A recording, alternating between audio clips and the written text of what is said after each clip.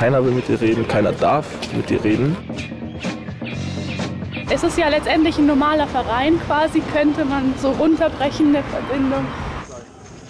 Ich bin Noah und gerade in Eisenach beim Burschentag des Dachverbandes Deutsche Burschenschaft. Studentenverbindungen, Burschenschaften haben einen beschissenen Ruf. Konservativ rechts. Ich will hier rausfinden, ob sie diesem gerecht werden und was das an sich für Typen sind.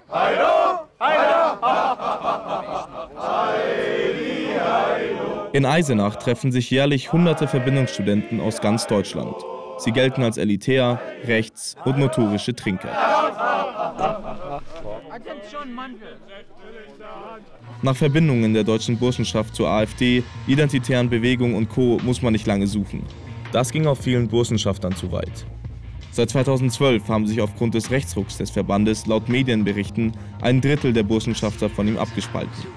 Für den Hintergrund, es gibt mehrere Dachverbände und nicht jede Studentenverbindung ist eine Burschenschaft. Also du, du kannst mit den Leuten off-camera reden, aber sobald du mit der Kamera filmst, keiner will mit dir reden, keiner darf mit dir reden. Mich regt es auf, dass man sich über seinen schlechten Ruf beschwert, aber dann mit niemandem reden will.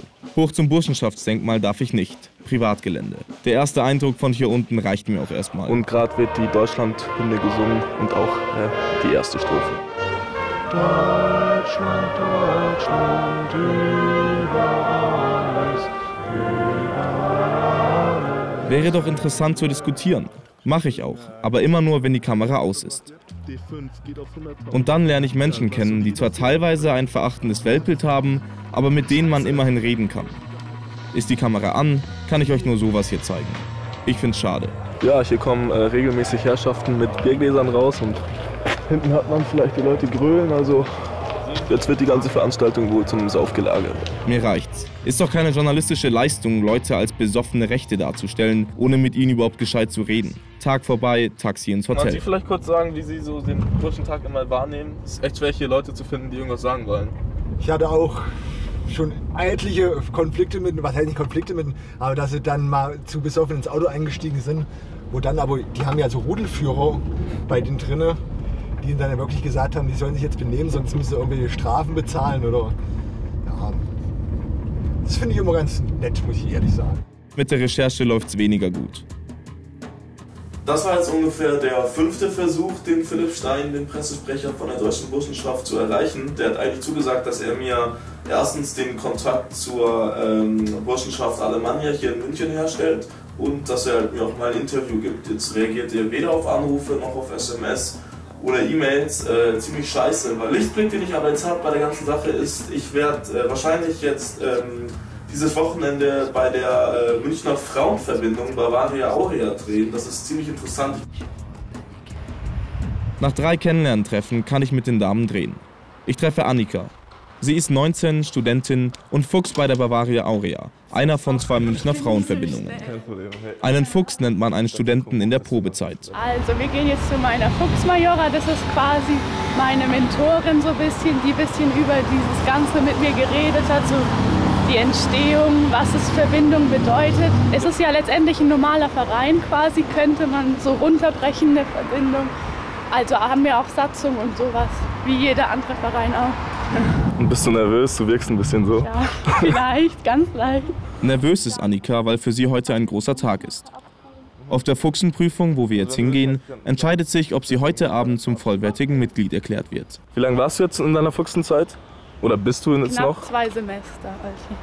Ich bin gleich im ersten Semester dazugekommen über eine Kommilitonin und die Mädels waren alle total lieb und cool. Das hört sich jetzt irgendwie voll unglaubwürdig an. So als ob ich so einen Werbefilm drehe, aber ja, es hat halt einfach gepasst. Der Grundgedanke ist eben, dass du halt eine lebenslange Gemeinschaft bist und man gegenseitig füreinander einsteht. Ciao. Ich warte.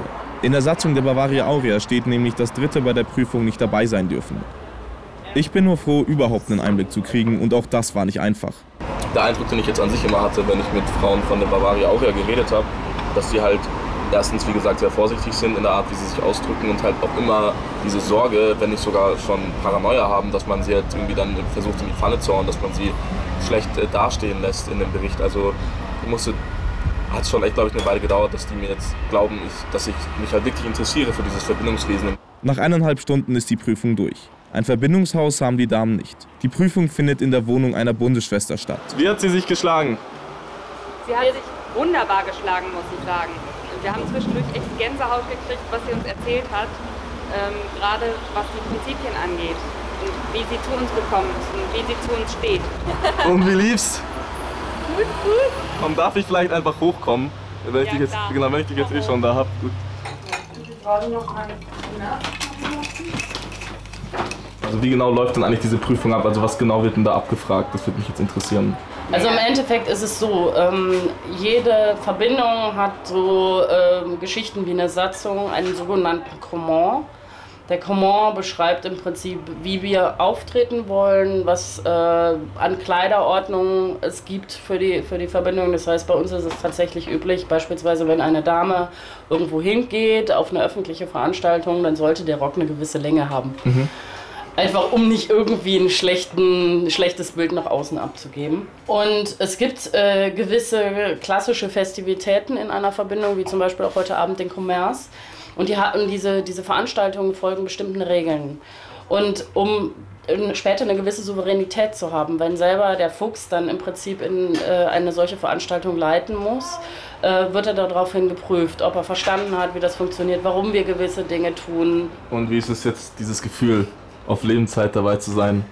Ich glaube, ich kann das noch nicht realisieren. Ne? Vielleicht kommt das heute Abend, wenn ich mein Band bekomme. Seit vier Jahren erst gibt es die Bavaria Aurea. Die Verbindungen auf dem Burschentag blicken teilweise auf eine jahrhundertealte Geschichte zurück. Auf ihrer Website präsentieren sich die 15 Damen recht progressiv. Wenn ich mir jetzt eure Website angeschaut habe und auch jetzt mit euch geredet habe, habe ich an sich den Eindruck, sozusagen, ihr seid die Frauen, die versuchen, das ganze Verbindungswesen zu modernisieren. Das ist der Eindruck, den ich hatte. Und seht ihr dann so, ja, wir haben jetzt die gebaute feministische Frauenpower dahinter oder wie, wie, wie seht ihr euch da? Also äh, wir haben an der Stelle eigentlich eine relativ klare Lesart. Das heißt, äh, wir sind in erster Linie Frauen, erst in zweiter Linie kooperiert. Das heißt aber, für uns ist es wichtig, dass man auch als Frau auftritt und sich dementsprechend verhält. Also das heißt, wir, uns ist es ganz wichtig, dass wir nicht als Mannweiber rüberkommen, sondern wirklich das Gefühl, man auch immer sagt, das Gefühl vermittelt, ja, wir sind trotzdem weiblich. Wir möchten uns auch nicht in die gleiche äh, Kategorie oder in die gleiche Reihe stellen wie die Herrenbünde. Annika hat sich mittlerweile umgezogen. Wir fahren zum Stiftungsfest. Ich mache halt immer so, ich nehme einfach alles Sie studiert übrigens soziale Arbeit und ist ehrenamtlich beim Roten Kreuz. Mit dem Studium habe ich ganz oft das Problem, dass sie mir sagen, ich bin so jung, ich kann, den, also ich kann gar nicht reif genug für den Beruf sein und schon gar nicht kann das, was ich zu sagen habe, hier irgendwie von Bedeutung sein. Weil ich habe ja gar keine Lebenserfahrung und, und egal, also wie alt die Leute dort sind oder was sie studiert haben, wie hoch ihre gesellschaftliche Position angesehen wird, das war immer so respektvoll auf einer Ebene. Und sie fragen auch dich nach deiner Meinung, weil sie auch das wissen wollen, wie du das siehst oder wie halt Jüngere das sehen.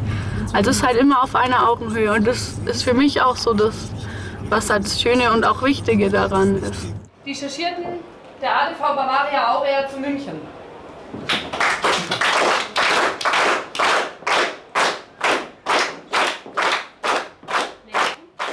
Das sind die drei chargierenden Damen, die das heutige Stiftungsfest leiten. Dort wird heute das vierjährige Bestehen der Bavaria Aurea gefeiert.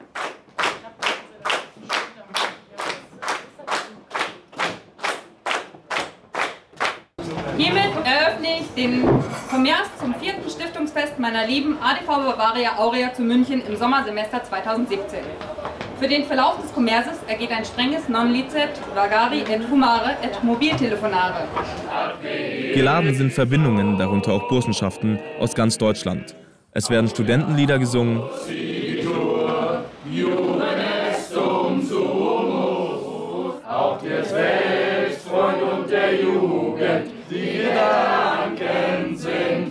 es werden Reden gehalten, Sinne, liebe Corona, ach, was geht es uns doch gut.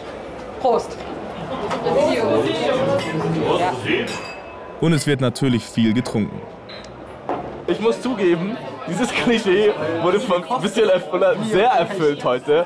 Was sagt ihr zu diesem Vor Vorwurf oder seht ihr es überhaupt als Vorwurf, sage ich jetzt mal? Sagen wir mal so, andere Studenten trinken auch. Ja?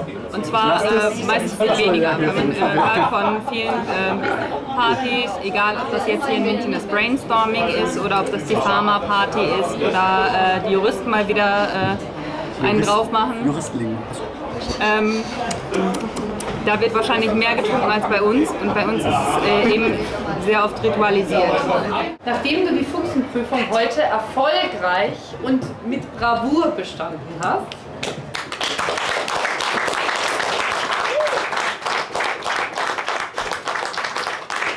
freue ich mich nun, dich in den Status des aktiven Mädels zu erheben. Erkennst du die Grundsätze der ADV Bavaria Aurea an? Ich genüge. Mit dem dreifarbigen Band hat Annika nicht mehr nur alle Pflichten, sondern auch alle Rechte in der Verbindung.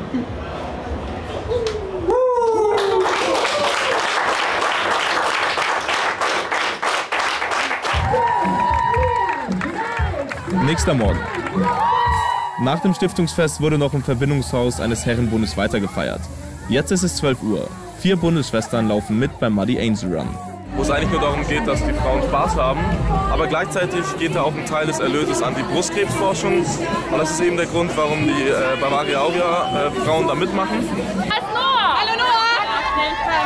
Ohne dich komme ich heute nicht zur Ruhe. Das, was ich will, bist du. Ich will euch schlammig! Auch ein paar Burschenschafter von gestern sind zum Anfeuern mitgekommen.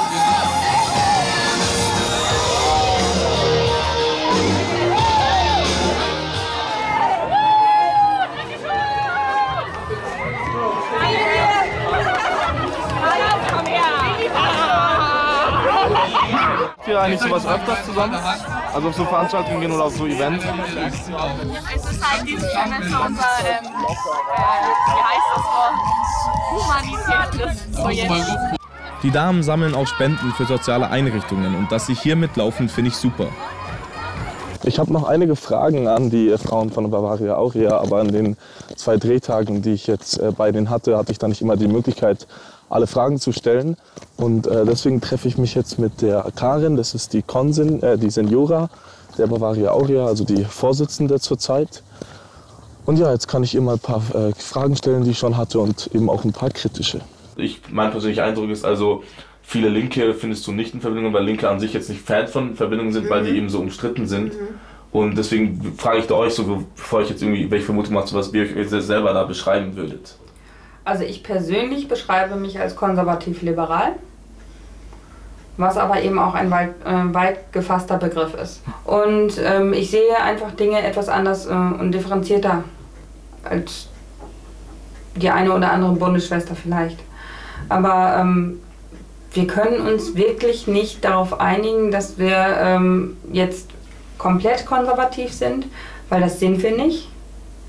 Wir können uns aber auch nicht ähm, ähm, freiheitlich-liberal als äh, Gesamtgruppe nennen, weil das äh, sind wir auch nicht.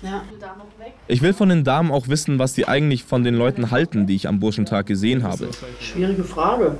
Ja. Das Lustige dabei ist, äh, sie sind umstritten in den Medien und äh, außerhalb der Kreise. Und ähm, alles, was da äh, heruntergebetet wird von vielen ähm, Journalisten äh, und immer wieder auch hochgeholt wird, das bezieht sich auf Einzelmeinungen und Einzelpersonen. Und du, du meintest ja zum Beispiel, dass ihr eben Freundschaften habt oder auch Kontakte habt eben zu den lokalen Herrenbünden. Mhm. So ist es, ist es dann auch zu so Burschenschaften wie zum Beispiel Danubia, die jetzt vom Verfassungsschutz beobachtet werden, oder Burschenschaften wie die, die äh, Staufia, die zum Beispiel sagen, wir nehmen nur Leute auf, die deutscher Herkunft sind.